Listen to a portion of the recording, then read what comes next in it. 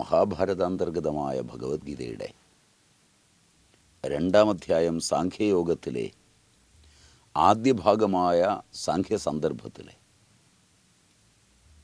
മുപ്പത്തിരണ്ടാം ശ്ലോകം.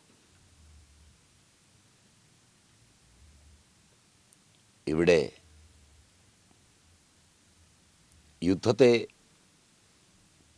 മനോഹരമായ ഒരു തഥ്യയിൽ തുടങ്ങുകയാണ് നാം കണ്ടത്.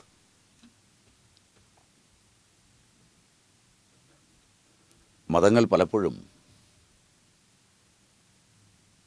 അതിന്റെ ആധ്യാത്മിക സാധനകളിലൂടെ ആളുകളെ ഏകാഗ്രതയുടെയും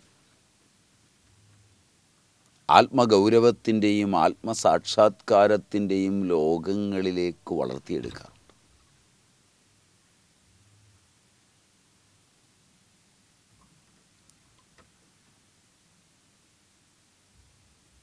ദേശം കാലം ഇവയൊക്കെ അനുഷ്ഠാനങ്ങളുടെ വ്യതിയാനങ്ങൾക്ക് പങ്കുവഹിക്കാറുണ്ട്.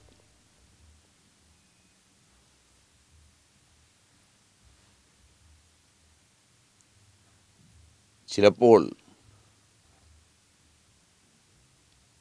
മതാനുഷ്ഠാനങ്ങളും മതപരങ്ങളായ ചിന്തകളും ദേശവ്യവസ്ഥകളെ ഉല്ലംഘിച്ച് വികസിക്കാറുണ്ട്.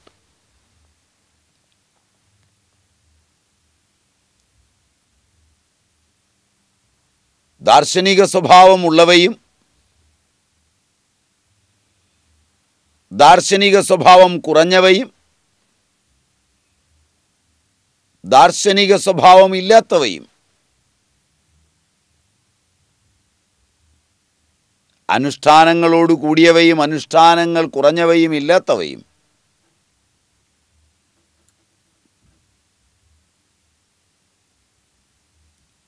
ഒക്കെയായി പലതരം പ്രവാചകന്മാരാൽ പല മതങ്ങളും ഉണ്ടായിട്ടുണ്ട്.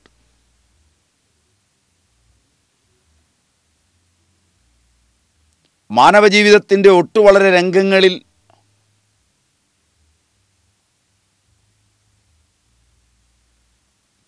മതങ്ങൾ നിശബ്ദത പാലിക്കുന്നതായും കാണുന്നുണ്ട്. ഭൗതികേതരങ്ങളായ സത്യങ്ങളെ മാത്രം പ്രഘോഷണം ചെയ്ത് സ്വർഗം വെച്ച് നീട്ടുന്ന മതങ്ങളുമുണ്ട്. ലൗകിക ജീവിതത്തെ കണക്കാക്കാതെ. ഇവയിലൂടെയൊക്കെ സഞ്ചരിക്കുമ്പോൾ മതമൊരുവനെ തങ്ങളിലേക്ക് ആകർഷിക്കുന്നത് അനുഷ്ഠാനങ്ങളിലൂടെയാണ്. സന്ധ്യാവന്ദനാദികൾ.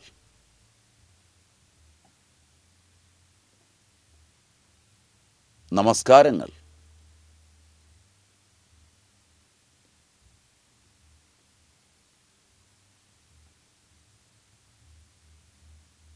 നാമപ്രഘോഷണങ്ങൾ. ജപങ്ങൾ.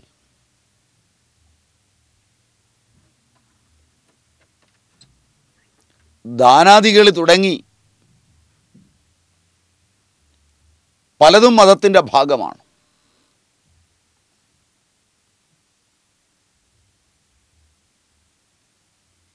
വികസിക്കുന്ന മതം.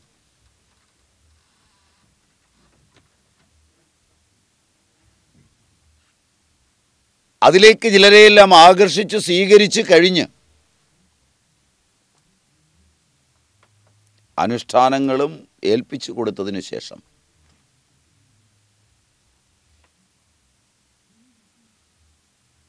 ദീർഘനാൾ അനുഷ്ഠാനങ്ങൾ ചെയ്തു നിൽക്കുന്ന ചെറുപ്പത്തോട് തങ്ങളുടെ കൂട്ടത്തിലെ വൃദ്ധന്മാരെ ചൂണ്ടിക്കാണിച്ച് പറയാം അവരൊക്കെ ഈ അനുഷ്ഠാനങ്ങൾ ചെയ്തവരാണ്. അവരുടെ കാലിന്റെ കണ്ണകളിൽ കാണുന്ന തഴമ്പ് ഇരുന്ന് ജപിച്ചതിന്റെയാണ് മുട്ടിലെ തഴമ്പ് പ്രാർത്ഥിച്ചതിന്റെയാണ് നെറ്റിയിൽ കാണുന്നത് നമസ്കാര കിണമുദ്രയാണ്. നമസ്കാര തഴമ്പാണ്. ഭാര്യയായി കുട്ടികളായി ധാരാളം സ്വത്ത് സമ്പാദിച്ചു. ഈശ്വരനെ നിത്യവും പൂജിച്ചു. ഇന്ന് വാർദ്ധക്യത്തിലെത്തിയ ആ ജീവികൾ വലിക്കുന്നു കുരയ്ക്കുന്നു വലിച്ചും കുരച്ചും ജീവിത സായാഹ്നത്തിൽ അവസാനിക്കുവാൻ പോകുന്ന ഈ ജീവന്മാർ സ്വർഗത്തിലെത്തുമെന്ന് തീർച്ചയാണ് അനുഷ്ഠാനങ്ങൾ കൊണ്ട് അങ്കിതമായ അവരുടെ ജീവിതം. ഈശ്വരനെ മാത്രം സങ്കല്പിച്ച് ഈശ്വരീയ നിയമങ്ങൾക്ക് മാത്രം പ്രസക്തി നൽകി. ഭൂമിയിൽ മാനവനുണ്ടാക്കിയ നിയമങ്ങളെ ഒന്നും കണക്കിലെടുക്കാതെ.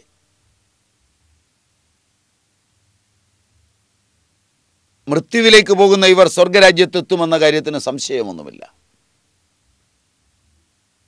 ഇത്രയും നരകിച്ച് നിങ്ങൾക്ക് സ്വർഗത്തിലെത്തണമോ ഉടനെ സ്വർഗത്തിലെത്തണമോ നിങ്ങൾ ഉടനെ എത്താൻ ആഗ്രഹിക്കുന്നുവെങ്കിൽ ധർമ്മത്തിന്റെ ഭടന്മാരാവുക.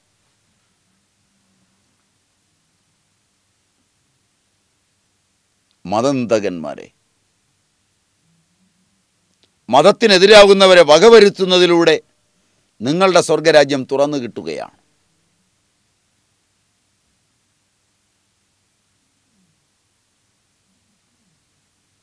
അനാദികാലം മുതൽ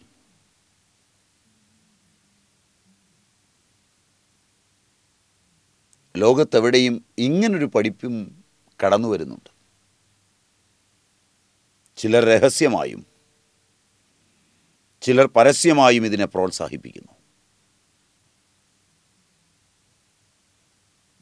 ഇവയുടെ ഏറ്റുമുട്ടലുകളുടെ കേന്ദ്രബിന്ദുവായി ലോകം മാറി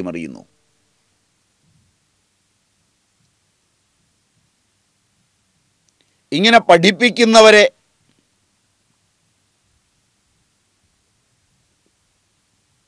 അവരുടെ ഇതരങ്ങളായ പ്രവർത്തനങ്ങൾ കൊണ്ട് സാമൂഹ്യ സേവനം കാരുണ്യം മുതലായ പ്രവർത്തനങ്ങൾക്കിടയിലാണ്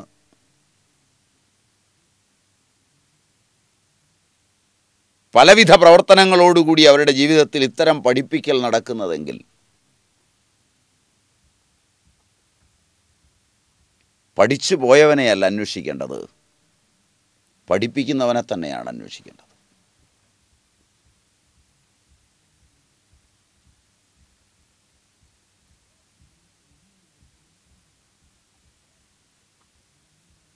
ജീവിതത്തിലുടനീളം ധർമ്മത്തെ തങ്ങൾക്ക് ചേർന്ന വിധം വ്യാഖ്യാനിച്ച് ഹിംസാതന്തുരമായൊരു ധർമ്മസ്ഥിതിയിലേക്ക് അഹിംസ പരമോധർമ്മ എന്ന വേദചിന്തയെ മാറ്റിവെച്ചുകൊണ്ട് സനാതനധർമ്മത്തിന്റെ തന്നെ പുതിയ വിഭാഗങ്ങൾ ഇങ്ങനെ വ്യാഖ്യാനവുമായി വന്നിട്ടുണ്ട്. ഇതര മതങ്ങളുടേത് വളരെ മുമ്പേ തന്നെ ഈ രീതിയിൽ സഞ്ചരിക്കുന്നുമുണ്ട്.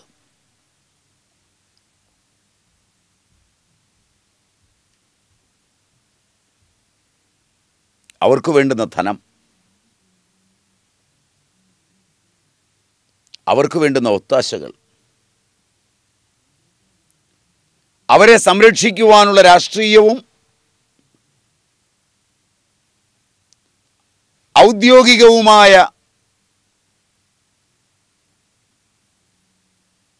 പദ്ധതികൾ ഇവയൊക്കെ ലോകത്ത് സജീവമാണ്. മതത്തിന്റെ ധർമ്മഭടനായി തീർന്ന് എതിരാളികളെ കൊന്നും എതിരാളികളാൽ കൊല്ലപ്പെട്ടും തുറന്നു വെച്ച സ്വർഗരാജ്യത്തിലേക്ക് പോകുവാൻ തയ്യാറാകുന്ന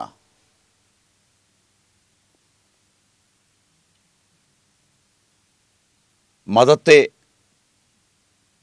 ഉപരിപ്ലവമായൊരു വ്യവസായമായി ഉപയോഗിക്കുന്നവരുടെ കയ്യിൽ ചിന്താശേഷി നഷ്ടപ്പെട്ട് വികാരഭരിതമായി പോകുന്ന യൗവനത്തെ അല്ല ശിക്ഷിക്കുവാനും ഒരുങ്ങേണ്ടത്.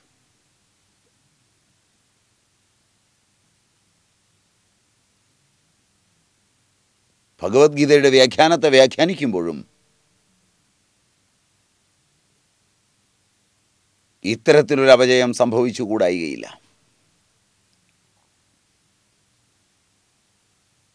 നിരപേക്ഷ നിയോഗമെന്നും മറ്റും സൂചിപ്പിച്ച് ഗീതയെ യുദ്ധകാഹളമാക്കി തീർക്കുമ്പോഴും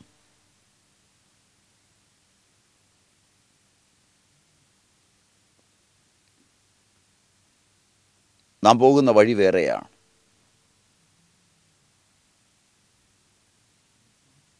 ആചാര്യശങ്കരനാകട്ടെ ഇങ്ങനൊരു സംശയം കിടക്കുമ്പോൾ ഗീതയെ ശ്രുതിയുടെ പക്ഷത്തേക്ക് നീട്ടുന്നു തന്നെയില്ല. യുദ്ധത്തിന്റെ സൂചനയെങ്കിലും ഉള്ളതുകൊണ്ട് ഗീത സ്മൃതിയാണ്. ധർമ്മജിജ്ഞാസമാനാനാം പ്രമാണം പരമം ശ്രുതി എന്നാണ്.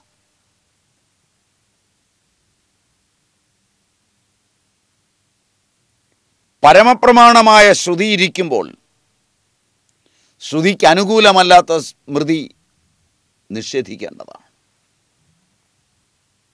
അതുകൊണ്ട് ഗീതയിലെ യുദ്ധത്തെ പറയുന്ന ഭാഗങ്ങൾ. ശ്രുതിക്ക് അനുകൂലമല്ല എന്ന് പറയുവാൻ അദ്ദേഹം ഒരിക്കലും മടി കാണിച്ചിട്ടില്ല. അതേ അവസരത്തിൽ ആന്തരിക യുദ്ധമെന്നെടുത്താൽ മറ്റൊന്നാകുന്നതുമാണ്. ഇവിടെ ആധുനിക രീതിയിൽ ഉള്ള ഭാരതീയ ചിന്തയുടെ വ്യാഖ്യാനത്തെയും ശങ്കര ഭാഷ്യത്തെയും സമന്വയിപ്പിച്ച് ആദ്യം നമുക്ക് ഈ ഭാഗം കാണാം. ഇത് അർത്ഥവാദപരമല്ല. യുദ്ധം ഭാഗ്യം കൊണ്ടാണ് ലഭിക്കുന്നത്. അതോ ദൗർഭാഗ്യം കൊണ്ടോ? ഇവിടെ ഭയാനകമായ നരസംഹാരം ഉണ്ടാവും. എന്ന് നാം കണ്ടു. ഏത് തരത്തിലുള്ള സ്വർഗമാണ് യുദ്ധം കൊണ്ട് ലഭിക്കുന്നത്. അത് മുന്നോട്ട് ചർച്ച ചെയ്യും. ഹതോവ പ്രാപ്സ്യസി സ്വർഗം ജിത്വാവ ഭോക്ഷ്യസേ മഹിം. ഇങ്ങനെ ഉഭയത സുഖം മുമ്പോട്ട് പറയും. യുദ്ധത്തിൽ കൊല്ലപ്പെട്ടാലും യുദ്ധത്തിൽ ജയിച്ചാലും കിട്ടുന്ന സുഖം. എന്നിരുന്നാലും ഇവിടെ സ്വർഗപദാർത്ഥത്തിന്റെ വിശേഷ ജിജ്ഞാസയുണ്ട്. സ്വർഗം രണ്ടു പ്രകാരമെന്ന് നാം പറഞ്ഞു. ഒന്ന് ജ്യോതിഷ്ടോമാദി യജ്ഞങ്ങൾ ചെയ്ത് ദേവലോക സ്വർഗത്തെ പ്രാപിക്കുന്നു. അത് സ്വർഗമാണ്. രണ്ടാമത്തത് ശ്രുതി അധിഷ്ഠിതമായ സ്വർഗമാണ്. ശ്രുതികളിൽ അനേകം സ്ഥലങ്ങളിൽ സ്വർഗം എടുത്തു പറയുന്നുണ്ട്. കേനോപനിഷത്തിൽ പറയുന്നു അപഹത്യ പാപ്മാനമനന്തേ സ്വർഗേ ലോകേ ജേയേ പ്രതിഷ്ഠതി പ്രതിഷ്ഠതി. സമസ്ത പാപകർമ്മങ്ങളെയും സമാപ്തമാക്കിയിട്ട് അനന്തം ഏവം പ്രശസ്തതരം സ്വർഗലോകത്തിൽ ജ്ഞാനി പ്രതിഷ്ഠിതമാവുന്നു. ഇതിൽ സ്വർഗത്തിന് രണ്ട് വിശേഷണങ്ങളുണ്ട്. ഒന്ന് അനന്തം രണ്ട് ജേയം. ഇതിൽ നിന്നൊരു സ്വർഗം ശാന്തവും അപ്രശസ്തതരവും ആണെന്ന് മനസ്സിലാക്കാം. അതുകൊണ്ട് കേനോപനിഷത്തിൽ കാണുന്നത് അനന്തലോകമാണ്. അത് മോക്ഷം തന്നെയാണ്. ഈ രണ്ട് സ്വർഗങ്ങളിൽ യുദ്ധം തരുന്നത് ഏത് സ്വർഗത്തെയാണ് ഇതിന്മേൽ അനേകം വ്യാഖ്യാതാക്കന്മാർ കരുതുന്നത് യുദ്ധവും ഒരു യജ്ഞമാണെന്നാണ്. അതുകൊണ്ട് യജ്ഞത്താൽ പ്രാപിക്കുന്ന ദേവലോകാത്മകമായ സ്വർഗം തന്നെ യുദ്ധം കൊണ്ട് പ്രാപിക്കുന്നു. എന്നാൽ ചില ആചാര്യന്മാർ യഥായോഗ്യം രണ്ട് സ്വർഗലോകങ്ങളും തന്നെ യുദ്ധം കൊണ്ട് പ്രാപിക്കുന്നു എന്ന അഭിപ്രായക്കാരാണ്. സ്മൃതികളിൽ യോദ്ധാക്കളെ പരിവ്രാജകന്മാരായ സന്യാസിമാരോട് ഉപമിക്കുന്നുണ്ട് ദ്വാവേദൗ പുരുഷൗ ലോകേ സൂര്യമണ്ഡലഭേദിനൗ പരിവ്രാങ് യോഗയുക്തശ്ച രണേജാഭിമുഖം ഹത.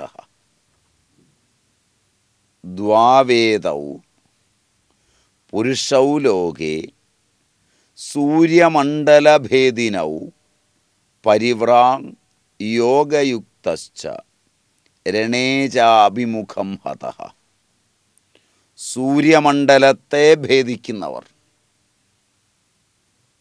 സ്മൃതി വെച്ച് പറഞ്ഞാൽ ലോകത്ത് രണ്ട് തരക്കാരാണ്. ഒന്ന് യോഗികളായ പരിവ്രാജക സന്യാസിമാർ.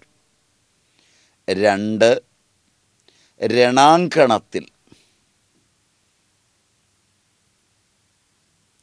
യുദ്ധക്കളത്തിൽ യുദ്ധത്തെ അഭിമുഖീകരിച്ച് മരിക്കുന്നവർ. പ്രാചീന കാലം മുതൽ.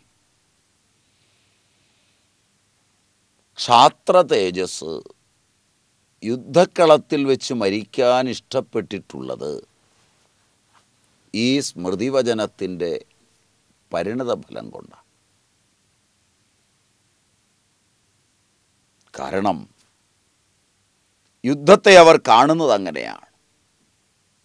സൂര്യമണ്ഡലം ഭേദിക്കുന്നവർ എന്ന് പറഞ്ഞാൽ ഉത്തരായണ മാർഗത്തിൽ പോകുന്നവർ. അഗ്നിർജ്യോതിരഹശുക്ല എന്നിങ്ങനെ അത് മുമ്പോട്ട് ഗീതയിൽ തന്നെ പറയും. അവ ശ്രുതിയിലും വർണിച്ചിട്ടുണ്ട്. ആ മാർഗം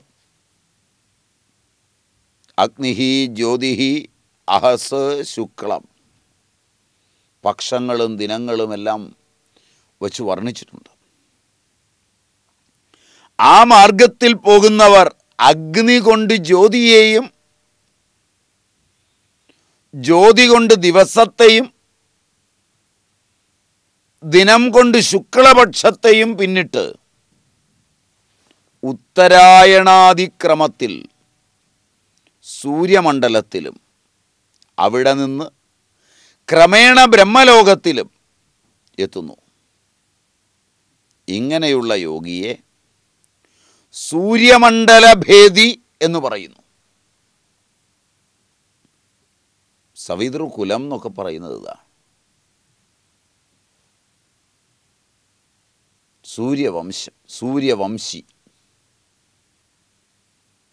അനുഷ്ഠാനങ്ങളുടെ അത്യുദാരവും ഉദാത്തവുമായ ലോകങ്ങൾ. സൂര്യമണ്ഡലത്തെ ആര് ഭേദിക്കുന്നു? പരിവ്രാജകനായ സന്യാസി മഹാത്മാവ്. അതുപോലെ രണാങ്കണത്തെ അഭിമുഖീകരിച്ച് മരണം വരിക്കുന്ന യോദ്ധാവ്. സന്യാസി ജീവിതം മുഴുവൻ ത്യാഗവും തപസ്സും കൊണ്ട് ജീവിക്കണം. അങ്ങനെയാണ് അയാൾ സൂര്യമണ്ഡലത്തെ ഭേദിച്ചെത്തുന്നത്. അതുകൊണ്ട് അവർ ഉത്തരായണ മാർഗത്തിൽ സൂര്യമണ്ഡലം ഭേദിച്ച് ബ്രഹ്മലോകത്തിലെത്തുന്നു. അവിടെ കൽപ്പപര്യന്തം വസിക്കുന്നു. അവരുടെ ജീവിതക്രമത്തെയും അവരുടെ ഉപാസനയെയും ഒക്കെ ചൂണ്ടിക്കാണിച്ചിട്ട് അവർ കൽപ്പാന്തം വരുമ്പോൾ ബ്രഹ്മാവിന്റെ അടുത്തു തന്നെ യുക്തനാവുന്നു. എന്നാൽ രണാഭിമുഖം ഹതമാകുന്നവൻ യോദ്ധാവായിട്ടുള്ളവൻ ജീവിതം മുഴുവൻ തസ്യ അവന്റെ ത്യാഗമോ ജീവിതമോ ആവട്ടെ? അവൻ കർമ്മം ചെയ്യട്ടെ ചെയ്യാതിരിക്കട്ടെ. ജീവൻ മുഴുവൻ യുദ്ധം ചെയ്യട്ടെ ചെയ്യാതിരിക്കട്ടെ. എന്നിരുന്നാലും രണത്തിൽ മരിക്കുന്നതോടെ ഉത്തരായണ മാർഗത്തിൽ പോകുന്നു. സൂര്യമണ്ഡലം ഭേദിച്ച് സന്യാസികളെപ്പോലെ ബ്രഹ്മലോകത്തെത്തുന്നു. കൽപ്പാന്തത്തിൽ ബ്രഹ്മാവിനൊപ്പം മുക്തമാകുന്നു. ഇപ്പം സ്വർഗത്തിന്റെ രണ്ട് വിഭാഗങ്ങൾ സകാമത അതുപോലെ നിഷ്കാമത രണ്ടിലും ആധാരിതമാണ്. ഒന്ന് സകാമവും ഒന്ന് നിഷ്കാമവും. ആറാം അധ്യായത്തിൽ രണ്ട് തരം യോഗഭ്രഷ്ടന്മാരുടെയും വർണനമുണ്ട്. പുണ്യ സ്വർഗ ലോകം പ്രാപിച്ചിട്ട് ശുചീനാം ശ്രീമതാം ഗേഹേ പവിത്ര ശ്രീമന്ത ഗൃഹങ്ങളിൽ ജന്മം നേടുന്നു. നിഷ്കാമന്മാർ പവിത്ര യോഗികളുടെ കുലത്തിൽ ജനിക്കുന്നു.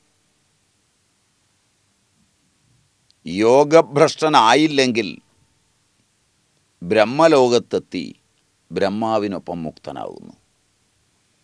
അതുപോലെ രണാഭിമുഖമായി ഹതനാകുന്നവനും മുക്തനാവുന്നു സകാമമെങ്കിൽ പുണ്യകൃത്തുകളുടെ ലോകം ശാന്തസ്വർഗലോകം പ്രാപിക്കുന്നു. നിഷ്കാമന്മാർ സൂര്യമണ്ഡലം ഭേദിച്ച് ബ്രഹ്മലോകത്തെത്തി മുൻ പറഞ്ഞതുപോലെ മുക്തരാകുന്നു ഭഗവാൻ ഈ അതിരഹസ്യമായ കാര്യം പറഞ്ഞു. എന്നിങ്ങനെയാണ് അവ്യാഖ്യാന രീതി. എന്നാൽ അത് ഹൃദയംഗമമാവാൻ പ്രയാസമാണ്.